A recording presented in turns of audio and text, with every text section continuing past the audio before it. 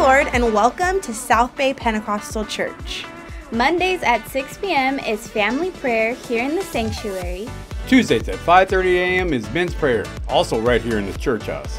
Then every Tuesday at 4 p.m. is Step Up to Pray on the steps of City Hall, right across the street from our local library. Meet us here on campus every Wednesday night at 7 for Midweek Manna, where we have classes for kids, youth, and adults, including new life and discipleship classes.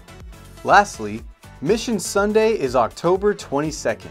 Join us for two great services focusing on missions around America and the world.